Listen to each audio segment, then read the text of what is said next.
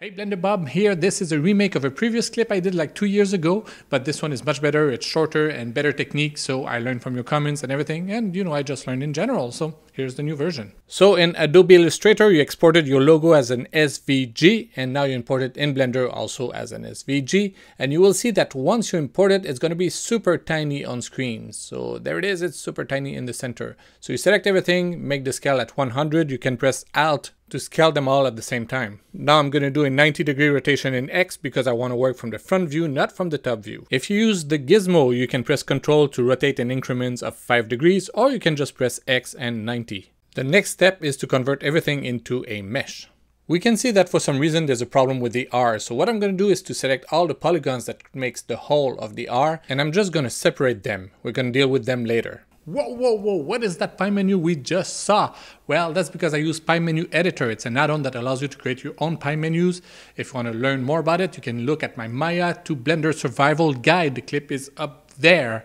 And also, I do not display the hotkeys I'm using because I completely remap my keyboard, but it's the same function. So if you see me do extrude or do something like this, it's the same thing as going in the menus. All right. Okay, now I will select everything and apply the transformation. This will avoid troubles when we're going to do the bevels later. For some obscure reason, I only have edges for the R, so I will select all the edges and press F to fill them. And now it's a polygon like the other letters. The first step of the cleanup is to remove all the points that are on a straight line. We don't need them, we want to keep the geometry as light as possible.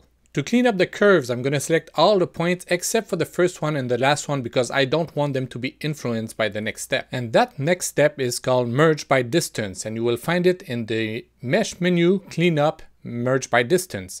And if you change the distance here, you will see the points will collapse one another until you have less and less and less points.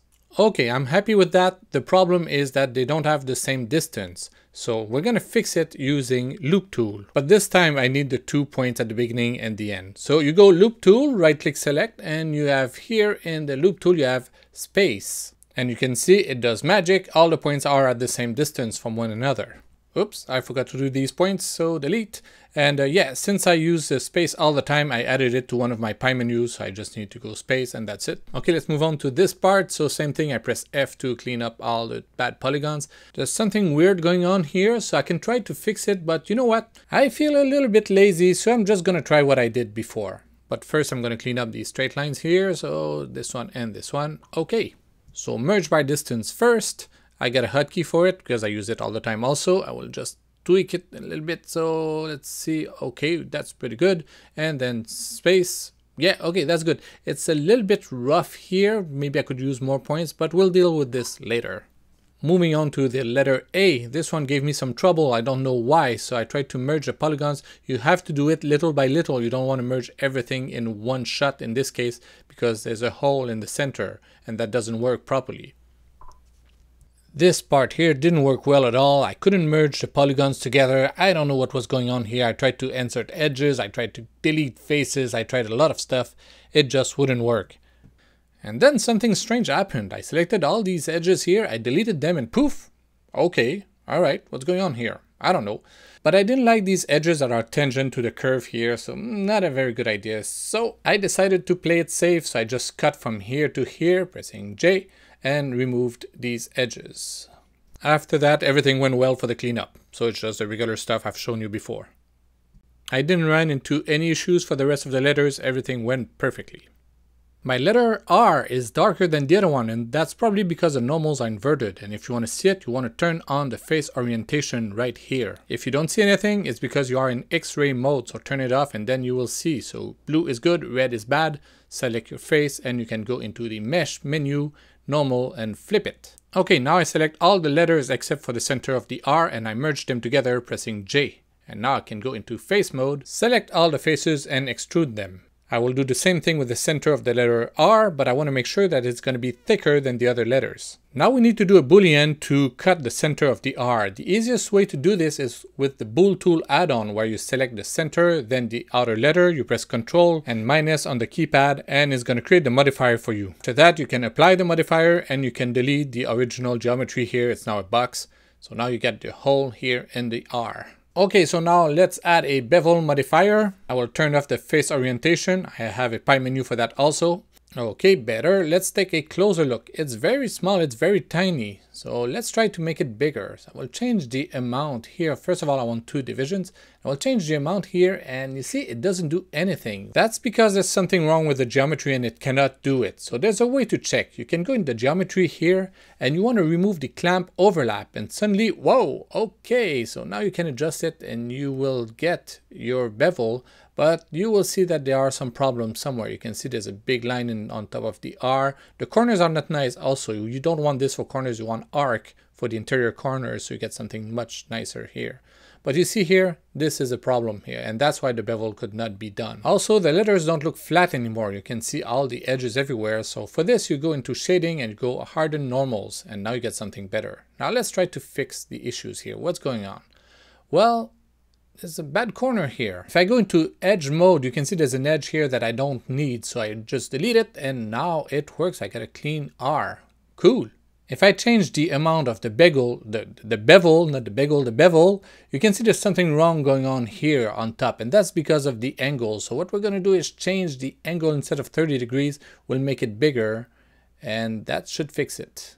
Now let's say I would like to have more subdivision on the top of the A here. I will turn off the bevel modifier and what I can do is by pressing shift and control I can select these edges here from here to here and I can press shift W to subdivide them. So yeah it's subdivided but it's not a smooth curve. So I will try what I did before. I will select all the vertices and I will go into space but boom whoa what's going on doesn't work. Okay let's go to plan B.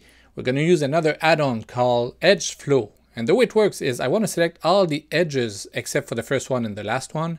And then you right click here and you go to set flow. And now you get a nice round curve. If you get into a situation where you need to remove edges because you have too many, you can select one out of two and then you press alt cursor up and will select one out of two edges. If you select one out of three, it will skip every two edges. One out of four, well, you get the idea. I just hope it's not some kind of add-on or preferences that I change and you won't have it.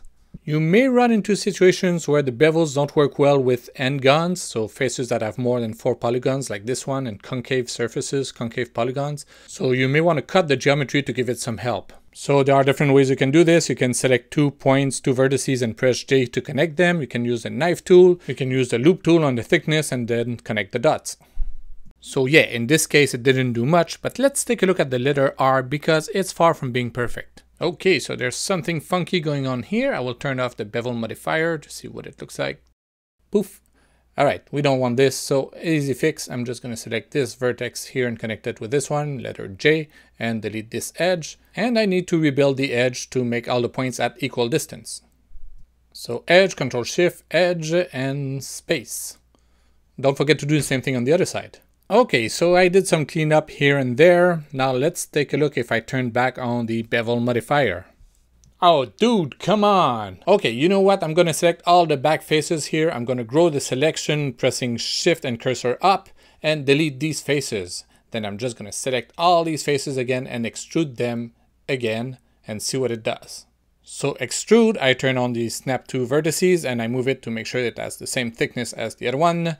Let's check the normals. They're inverted, so I select all the faces. I flip them, and now it's fine. Okay, bevel modifier on. Come on, dude, you're kidding me? How come it works on one side but not the other one? It's an extrusion. It should be the same geometry. Okay, let's try this. I told you before the A, I added some edges to give it some help. Well, let's see here if I add these edge loops here and I connect the vertices from this one to this one, press J, this one, this one, J, same thing on the other side clack, clack, J, clack, clack, J. All right, let's turn back on the bevel modifier and it works. Quick inspection, everything looks good. Yeah, all right, now we're gonna give it the ultimate test. Click here, MatCap, and select this one here, and that's the ultimate test. Yeah, it looks awesome. We are done. So for those of you worried about my cat because I blew him up last time, shut up! Well, he's just fine. Cats have nine lives, so Eight to go. Hmm. Musha. Musha. Qu'est-ce qu'il Musha. Well. Well. Well.